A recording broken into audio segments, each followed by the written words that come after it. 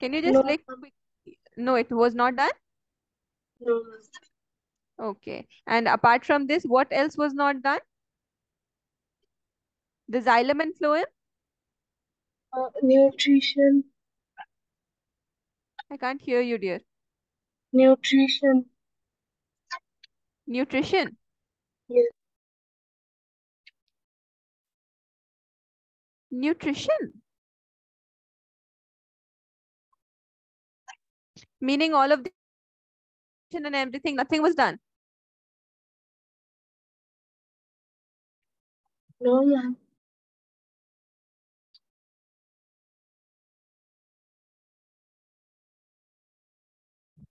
So where have I done till in the nutrition part?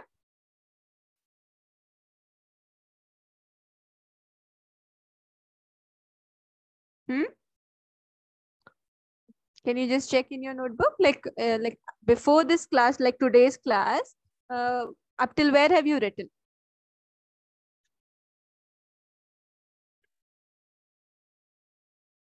Um, heterotrophic nutrition. Heterotrophic nutrition. Okay.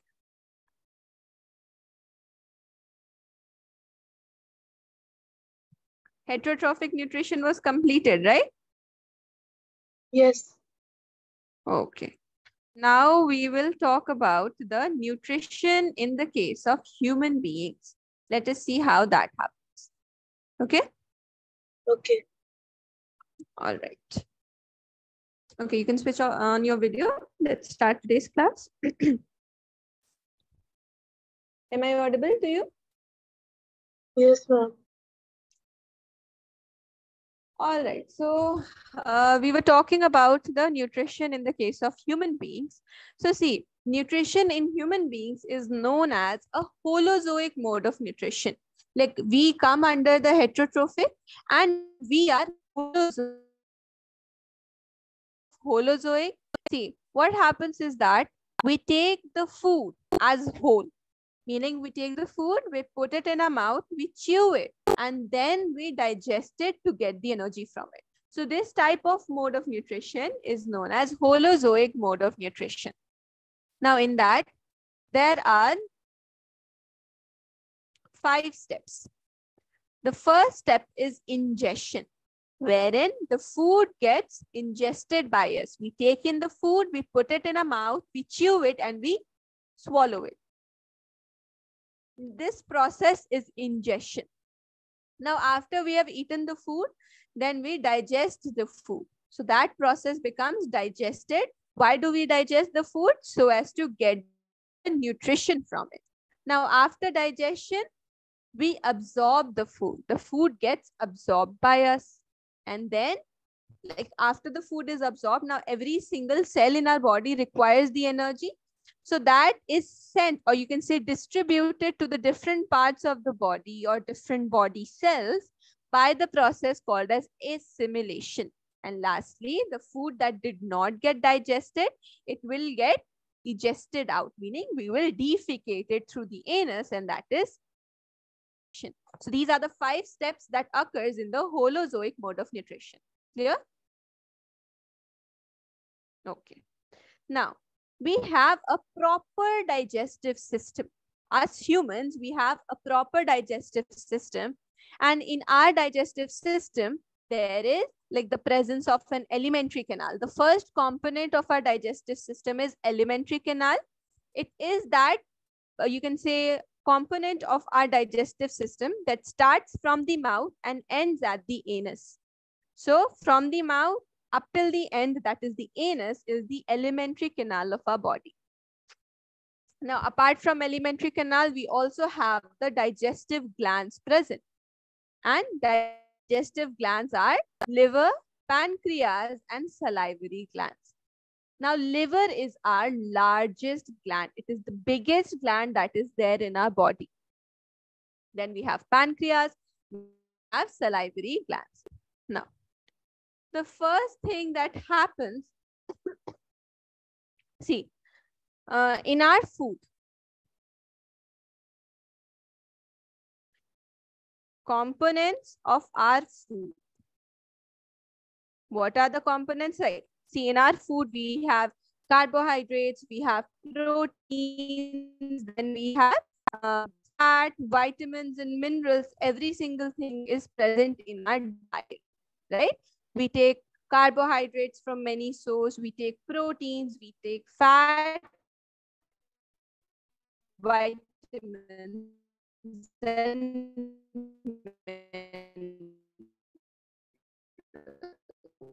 now what happens is that the body they have to be digested right so initially when we take the food we put it in our mouth. Am i audible? Aisha can you hear me? Is my voice fine now? My voice is coming to you students? Yes, ma'am.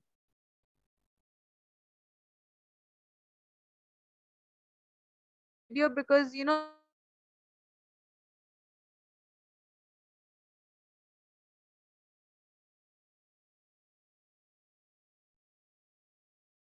Ma'am, it's not clear. it's not clear. Okay, just one second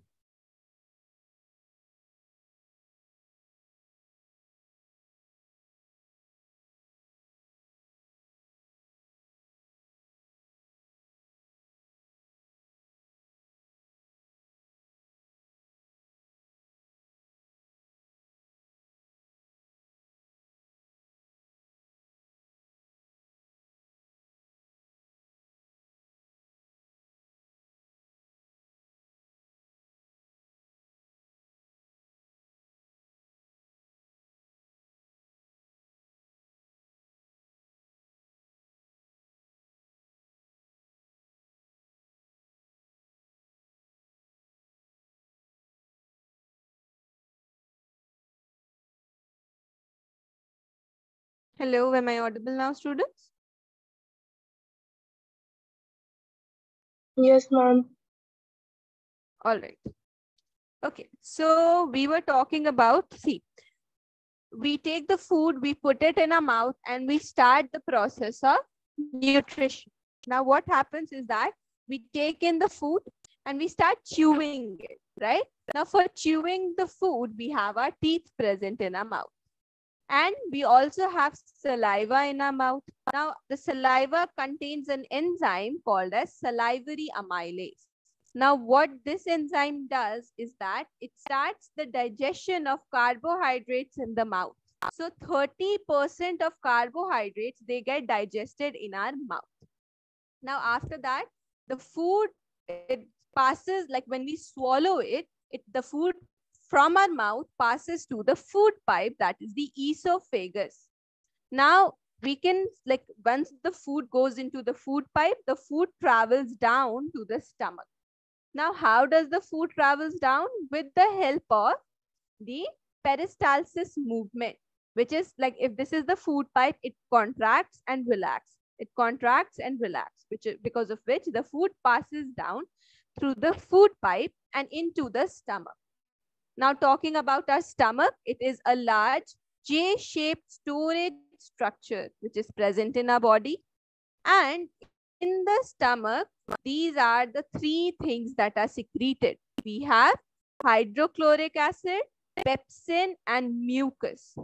Now, the hydrochloric acid, what it does is that it physically breaks down the food by creating an acidic medium.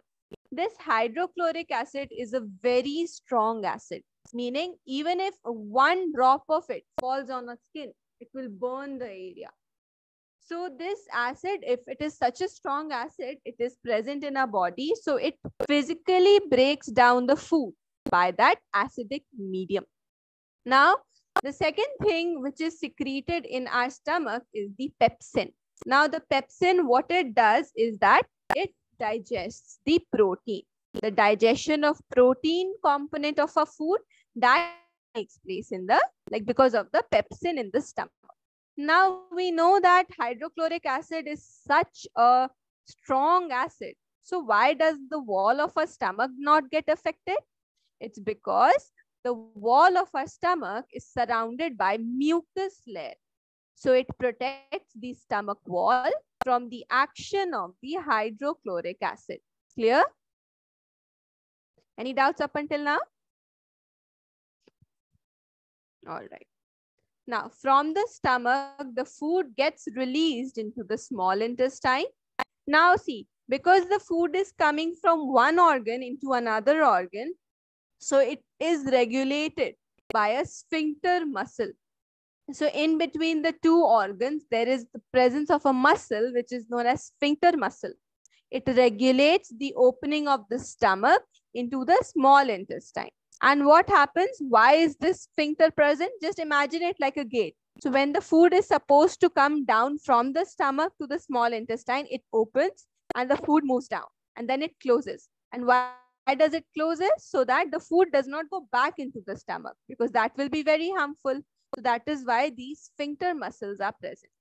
Now, talking about the intestine, it is the largest part of the alimentary canal, the largest part. It is the longest part.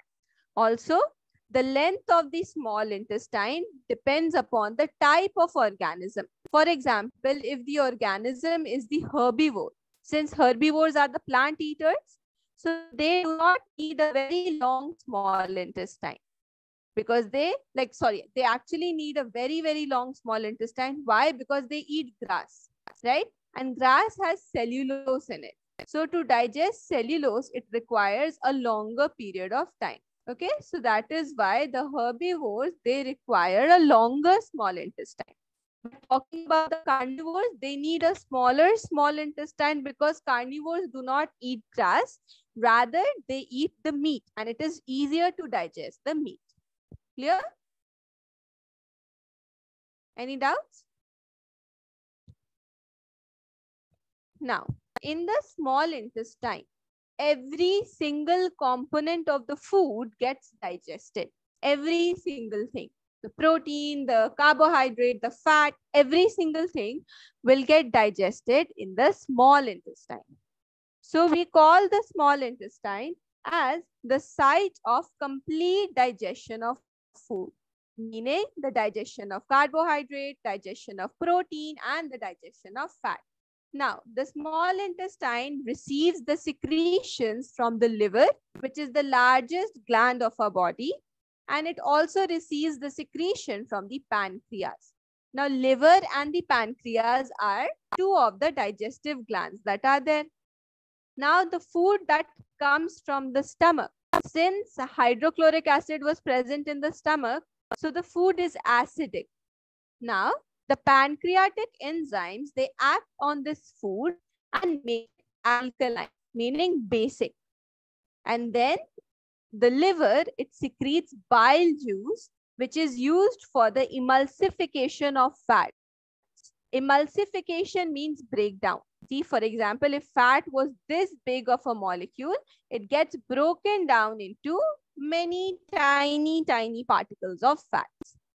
Now, the pancreatic juice from the pancreas it contains the enzyme like trypsin for the digestion of proteins and the enzyme lipase to digest the emulsified fats, which is the fats that have been broken down. Apart from this, the wall of the small intestine also secretes enzymes which are known as intestinal juice. It converts the proteins into amino acid the complex carbohydrates into glucose, the fats into fatty acid and glycerol, meaning now final digestion of all the components of the food has been done. Clear? Any doubts up until now? Okay. Now you can note it down. You can switch off your video and write down comfortably.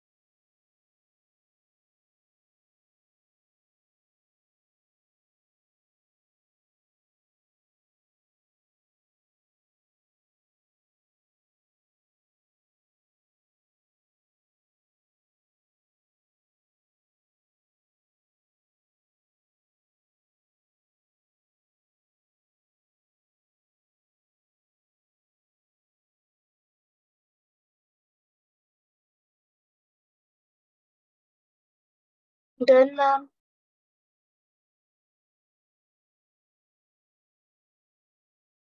Both of you are done? Yes, ma'am, I'm also done.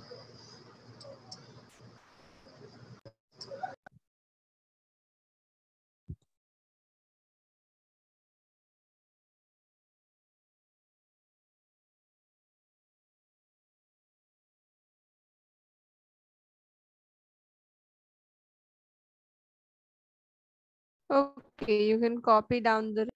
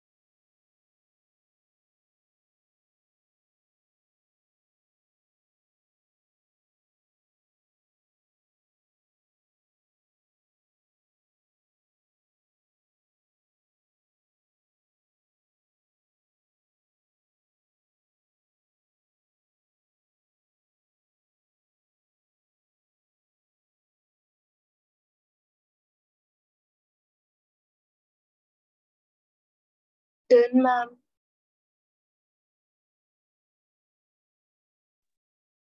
both of you are done?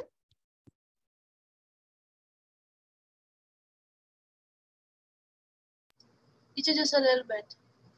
Okay, okay. Take your time. It's all.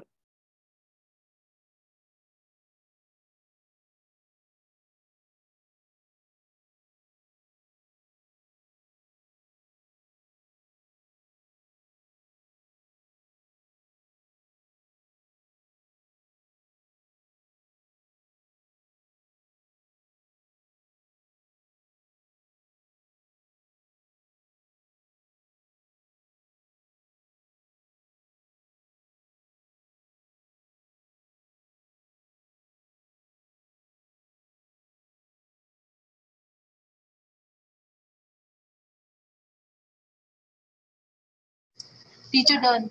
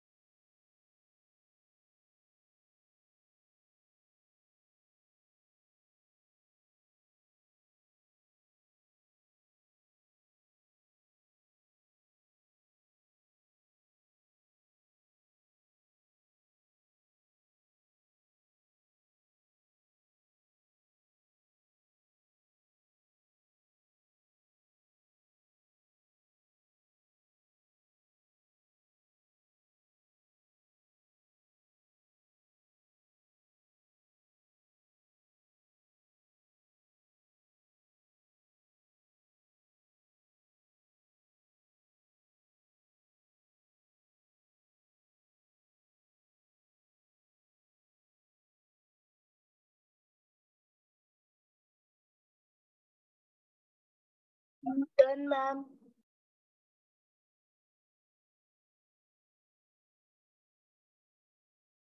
Both of you are done? Yes, ma'am.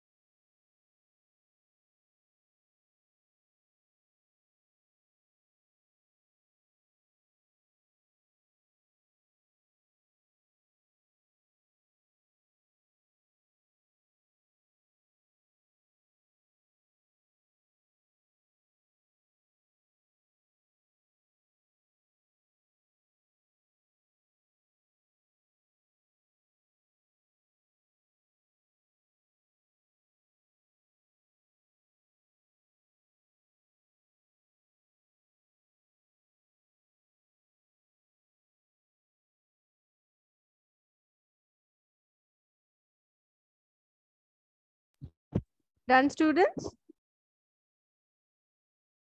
Yes, ma'am. All right. Now moving forward, let's talk about more about the small intestine. Now see what happens. That small intestine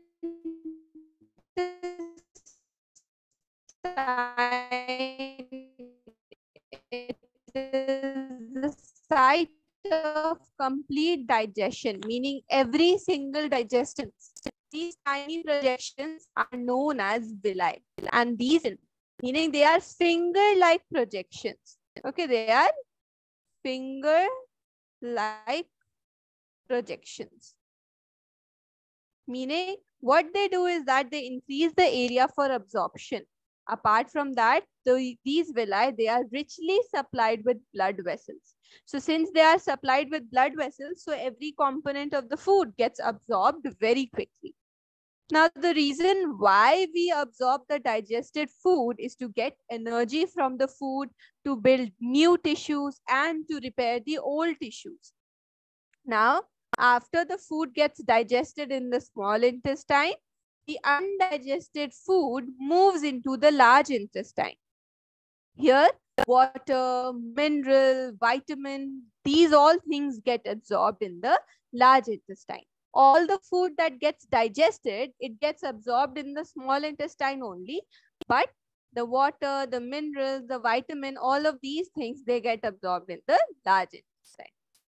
Now, after the food has been absorbed from everywhere, then there comes a process wherein the food which has not been digested, that part of the food gets excreted or you can say egested out of the body by defecation.